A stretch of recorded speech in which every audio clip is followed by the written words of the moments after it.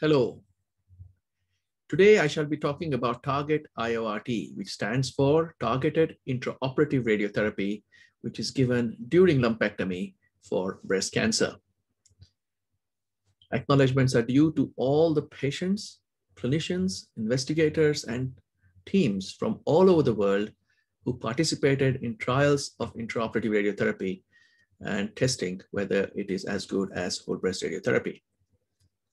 So this is a photograph showing the International Steering Committee as well as the Trial Steering Committee appointed by NIHR. And these are all the authors of the latest British Medical Journal, BMJ publication. So these are my potential conflicts of interest. That is, I receive a grant funding from UCL for UCL from NIHR and honorary and travel reimbursement sometimes from Carl Zeiss. So I'll start from the beginning. When I worked in Tata Hospital in India and I had to as a chief resident, had to give a diagnosis to patients telling them that you have breast cancer. And the next step was I had to ask them whether can you come to the hospital every day for six weeks for radiotherapy if we could preserve the breast. If they could stay that way and the cancer was small enough, we could preserve the breast. But if they can't and they had to go back to their hometown far away from Bombay, then they had to have a mastectomy. And it was not a very nice discussion to have. And I thought this was unique to India, but it wasn't. It happens in USA, across the Bay Bridge, when patients don't want to travel the Bay Bridge every day for three to six weeks. It happens in Australia, it happens in Denmark, and it happens in the UK. It happens all over the world. In this map, you can see how each radiotherapy center and its 13 mile radius doesn't cover the whole area of United Kingdom. Pathologically speaking, I had concern about this. Uh, I mean, I had this concern about patients, but there was also curiosity about breast cancer. And this whole organ analysis of mastectomy specimen, when analyzed in three dimensions, I found that breast cancer, other cancers in the breast, which is known to have just one cancer, is has many other cancers in the breast, and they are spread all over the breast. Now, this goes completely against the fact that 90% of local recurrence after breast conserving surgery occurs in the area around the primary tumor. And if that is the case, then why should we treat the whole breast? And we presented this first time in Hong Kong and then published in the British Journal of Cancer and in the Lancet, suggesting that we should do a clinical trial testing whether radiotherapy only to the area around a tumor is adequate enough to give local control. So this was a multidisciplinary team in, in 2010, in, in year 2000 at University College London. And you can see this is what we devised. So we worked with the industry, with Carl Zeiss, and created a device to give radiotherapy during the tumor, during the operation to the tumor bed. That's how it looks during the operation theater. And you can see here Professor Baum and Professor Tobias. This is a specimen after having a wire-guided wide local excision, as it was very close to skin, um, a small amount of skin was taken away, and the tumor is in the center of the specimen. And this is how the purse string is taken. You can see this is the purse string in the first diagram. This we test whether this applicator fixes it or not. And you can see the purse string being taken over here, in which the uh, suture is taken at a level which is not in the, in the subcutaneous tissue, not in the dermis, so that the tumor is replaced by the applicator. So you can see how the purse is taken here in the latter half. And you can see here the red line, that is where the, uh, the suture should be taken. Not too close to skin, so that the distance to the dermis should be between 8 to 10 millimeters. But if it is taken too deeply, all this tissue, which is the tumor bed, wouldn't be opposed to the applicator. So if you take it here, the tumor bed opposes to the applicator very clearly, and um, you give the radiation therapy to the correct place. So that's how it looks. And during COVID times, we have been giving this radiotherapy, making patients uh, avoid, allowing patients to avoid coming back for radiotherapy for many days, one after the other. That's how it looks in the operation theater, and that's how it looks on the operation table. So this is TARGIT IORT technique developed in UCLA Middlesex Hospital in 1996 to 1998. Radiotherapy is delivered immediately after lumpectomy, it focuses radiation to the areas of highest risk and avoids radiation of surrounding, not surrounding, nearby um, vital organs. And so with the principle of precision and immediacy. There are various sizes of applicators available. So you can choose from 1.5 to 5 centimeters, depending on the size of the tumor and the tumor bed. So we published the day, uh, how to do this technique in 2002 and also published uh, the first 25 patients results. And then we started the randomized trial. So randomized trial was testing whether this single dose of radiotherapy given in a risk adapted approach can replace the usual long course of whole breast radiotherapy. The recruitment occurred between March 2000 to 2012. You can read about it on the website targit.org.uk. TARGIT is spelled with an I. So the rationale and development is in, in a very uh, quick way is whole breast radiotherapy is considered essential for um, after lumpectomy for breast cancer. And a course of radiotherapy, this long course makes many women choose mastectomy instead. And we found that breast often contains other cancers, but recurrence occurs around the original cancer. And this academic insight led to the idea of irradiating only the tumor bed during lumpectomy. And the device was created in collaboration with the industry. And then we started a randomized clinical trial once we showed that it was safe to do this in an operation theater. So in the TARGIT A trial, 2,298 breast cancer patients who were due to have a lumpectomy with tumor size less than three and a half centimeters in size, unifocal breast cancer on normal imaging, there was no need of an MRI, were randomly allocated to receive either lumpectomy followed by single dose radiotherapy during surgery or whole breast radiotherapy. If postoperatively certain specific features were found, such as lobular cancers or, or uh, positive margins, then these patients would have whole breast radiotherapy recommended to them in addition to the intraoperative radiotherapy, in which case the intraoperative radiotherapy served as the tumor bed boost. The first publication of our results was in 2010 in the Lancet, and the second publication, including survival outcomes, were in 2013. So while we were waiting for long-term results, many of the obvious benefits were studied in more detail. So we found that because less area of the breast is irradiated, we expected cosmetic outcome to be better, and it was found to be better. And this was published in 2003 and again in 2013. Quality of life was found to be superior. Radiation-related quality of life, breast-related uh, quality of life, and cosmetic outcome was found to be superior in studies in Germany and in Australia. This study from Denmark found that patients had less pain following intraoperative radiotherapy compared with whole breast radiotherapy. And this was a preference study in which it was found that patients prefer IORT to standard radiotherapy, and doctors would prefer intraoperative radiotherapy to standard radiotherapy, in spite of a possibility of slightly higher increased local recurrence rate. And this is an important analysis of cost effectiveness by Dr. Michael Alvarado in US, where it was found that US would save about $1.4 billion over a course of five years if IORT was accepted as standard of care. And similar numbers are in UK. It is cheaper to give healthcare in UK, so it is less, but it is still about 9 million pounds in the UK saved when we start using this as standard treatment. This is an interesting aspect in which we analyzed how much distance is tra uh, traveled by patients after normal radiotherapy and how much would be saved if they have intraoperative radiotherapy.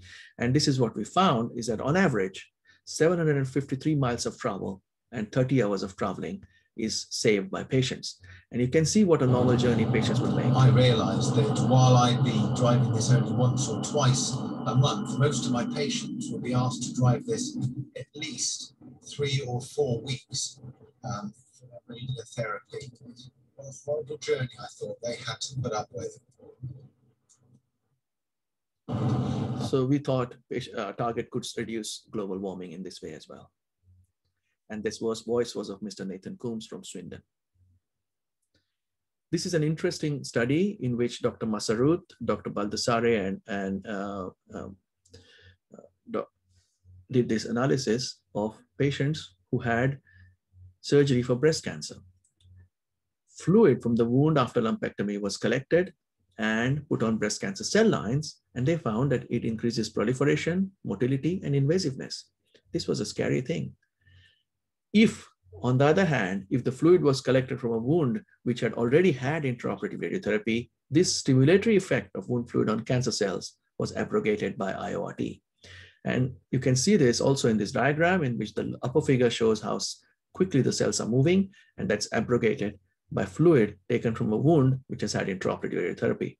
So although the dose of radiation might be small, this in addition, addition would be inhibitory to cancer cells. So after all, finally, the proof of the pudding is in the clinical trial. And the TARGIT A randomized control trial, now we are able to give the long-term results, and they were published in August in the British, British Medical Journal. For this, long-term outcomes are important, and we set the bar high for the quality of data. The first patient was randomized in March 2000, and the data lock was on 3rd of July 2019. And for completeness of follow-up, this is where we set the bar high. We said that follow-up would be considered complete only if 95% patients had at least five-year follow-up and 90% of patients had 10-year follow-up or were seen in the previous year before the data lock. So we have lost two patients. I'm so sorry about that. One has immigrated to Finland and one have immigrated to Bulgaria. And this is out of how many patients? As out of uh, 534 patients, we have lost two, and I'm so sorry for that. I'm trying to get data on the lady who uh, immigrated to Finland. I got a phone number, but she don't pick up the phone. But the one who immigrated to Bulgaria, I'm sorry to say, I think I lost her. so this is the quest. And this was the quest from every researcher in the trial. And that's how we got all the teams together to get the completeness to 95%. The team in uh, situ at UCL was, uh, was instrumental in making this happen. And this is what we got. You can see how the completeness is clear, that there is the two graphs of expected and actual follow-ups, and the two arms of the trial are very close to each other. And, in the, uh, and, and consequence of that is that TARGIT A has the largest amount of follow-up data in any partial breast irradiation trial for invasive breast cancer. You can see these graphs, each line represents a number of patients at each year of follow-up.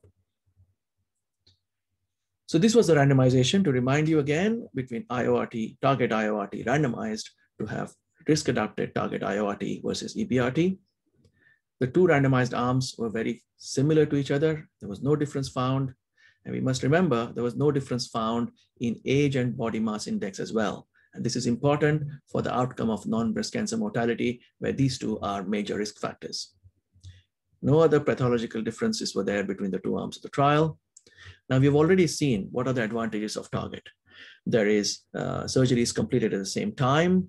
There is less pain. They go home the same day. There is fewer complications and there is better cosmetic outcome and improved quality of life. So but what is the patient thinking? What is the chance of my cancer coming back in the breast? Is that going to be the same? And that is the results. So the difference in the two recurrence rates was less than was 1.16%. And as you can see in this graph, at five years complete follow-up, there was one more local recurrence and one less death. And when you look in the long term, you can see the chance of a woman living without a local recurrence at five years was about 94%. And at 10 years, there was no difference. And 12 years, there was no difference. Invasive local recurrence-free survival, there was no difference between the two arms. Mastectomy-free survival, that is the breast preservation chance, was the same. Chance of remaining free of distant disease was the same. And chance of dying from breast cancer was the same. No difference at all in any breast cancer outcome. But this is the very interesting and good finding is that there was a reduction a significant and substantial reduction of 4.5% in the chance of dying from other causes. And that led to the overall survival curves of IORT being above and above the um, curves for external beam radiotherapy in the right-hand side. So this is the, these are the results, long-term results in one slide, local recurrence-free survival, mastectomy-free survival, breast cancer mortality were the same, no difference at all. So breast cancer outcomes the same, non-breast cancer mortality-wise, TARGIT IORT did much better with about 4.5% increase in uh, survival. So in year 2000, the first patient was randomized. 2010, Lancet published our first results and put our conclusions on their front page masthead, saying that for selected patients with early breast cancer, TARGIT IORT could replace the whole breast radiotherapy and should be offered as one. And in 2020, in the British Medical BMJ, we have confirmed that it gives rise to comparable breast cancer outcomes to EBRT and reduced non-breast cancer mortality. This, this made uh, a lot of media attention. It was on the front page of the Times. And uh, there are some important points I want to make here. Firstly, this increase in reduction in non-breast cancer mortality is very plausible. The effects of radiation on the heart start happening within six months. And you can see here perfusion defects because of radiotherapy appearing within six months of radiation. And another paper from the Oxford group found that people who are smokers, this effect is even more amplified, not only for the heart, but also for lung cancer. What you see is that 23% of smokers given external beam radiotherapy will die because of either lung cancer or heart attacks. And this is 6% more than they would if they had no external beam radiotherapy. Now, giving IORT will increase the overall mortality, uh, will reduce the overall mortality by 6%. And therefore, I believe it's unethical to offer normal external radiotherapy to smokers who have lung cancer without explaining, who have had uh, uh, smokers who have had breast cancer without explaining this and without giving the offer of intraoperative radiotherapy to them. What other point I want to make here is that TARGIT had a substantial high risk population, which is much more than seen in other trials of partial breast radiation. And this is similar to what we see in a normal clinic. So there were 83%, 85% patients were under the age of 70, 20 patients, 20% patients were grade three, 22% patients were ER positive, for sorry, were node positive, and 19% patients were either ER negative or PR negative. So these are much higher risk than trials of no radiotherapy or other trials of partial breast radiation. Compare that with the PRIME 2 trial of no radiotherapy. It was the, the size of the trial was smaller. There was hardly anybody with grade 3. There were no node negative patients and there were no ER negative patients. And their local control, as, as per the abstract in San Antonio in 2020, at 10 years, the local recurrence rate was nearly 10% compared to 1% with whole breast radiotherapy. And their binomial proportion of deaths from other causes seemed to be 3.9% with versus 6.1%, which seems to be similar to what we have in TARGIT, but the overall survival was not better at all. It was a little worse, 13 versus 12. So perhaps their non-breast cancer mortality benefit was nullified by the possible increase in breast cancer mortality. Whereas with TARGIT, with the effective radiotherapy, breast cancer control was the same and non-breast cancer mortality was reduced. In terms of the fast forward regimen, which is radiotherapy, which is highly compressed intensive regimen, these were again medium risk patients similar to TARGIT IORT, it does require between 7 to 15 visits to the hospital, including planning and a boost in a quarter of patients. Breast cancer control is the same, but there is no reduction in mortality and there is higher toxicity with a quarter of patients, 25%, having hardened or indurated breast. And this is consistent with the physician-assisted assessment of induration as well. And the LOTCOM data, this is only five years, and we expect after a longer period, this induration and fibrosis may get worse because of the highest, higher doses given to the whole breast. Comparing it with other types of uh, partial breast radiation, you can see with the GEC-ESTRO trial and other brachytherapy studies, the patient needs to have so many wires put in the breast and needs um, extra procedures, stay in the hospital for five days. And all of these other methods do give rise to scattered irradiation to nearby organs, vital organs, which is avoided by intraoperative radiotherapy. We have discussed all this in our um, uh, commentary in British Journal of Cancer, which you can access by going and uh, taking a using a camera to scan this uh, QR code. In the trial, 22,298 patients were treated. So it was all over the world. It was a real world trial. I have explained how the trial population was representative of a standard clinic population. Simultaneously, since the time the first results came out, people have uh, shown in series 200 patients in France. They had local recurrence at five years of 2.5%. This was a study uh, from US where three-year recurrence rate was 1.5%. This was a study from uh, China where it was a case control study where they found recurrence rate was similar to those with whole breast radiotherapy. This is from Russia. Now this center has treated more than 1,000 patients. This is a study from multi-center study, multi-nation study of TARGIT E elderly patients. For them, the local recurrence rate was 1.5% at five years.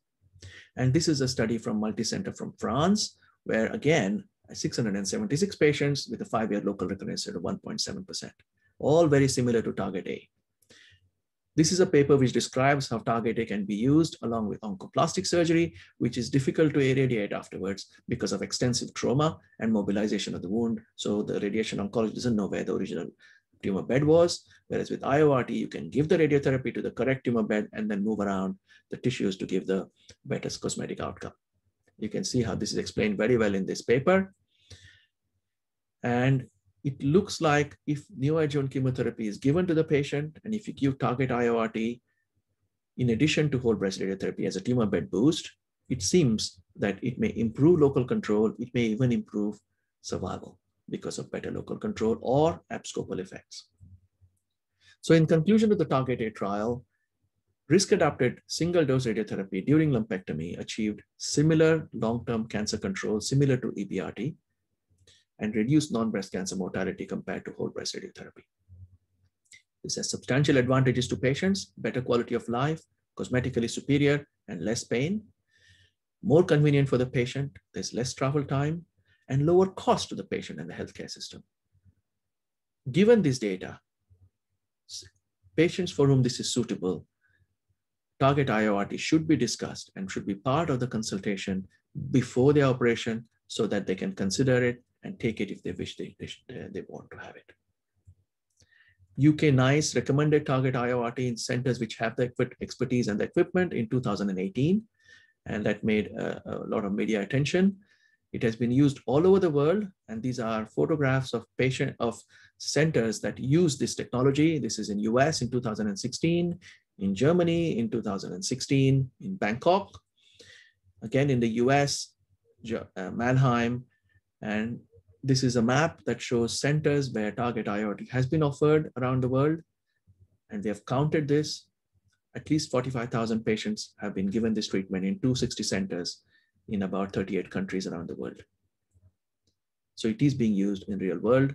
You can use the um, your camera to look at targit.org.uk website.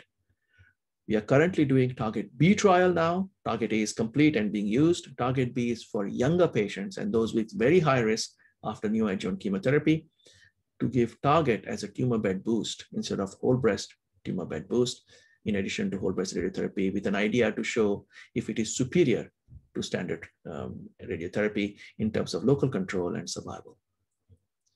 I'll finish by a patient. Eight years ago, I was diagnosed with early stage breast cancer. I had it for two months only before I was cured. I had TARGIT IORT at the same time as the operation to remove the cancer. I spent one night in hospital and I was back at work within days. No pain at any time, no complications, no scarring. I can't even tell where on my breast the surgery was. And no recurrence. Eight years. And that isn't just me being lucky. Studies show that my experience is similar to that of other women who've had TARGIT. I am so happy I was able to have this treatment. Thank you very much. Any questions? Um, we'll be happy to answer.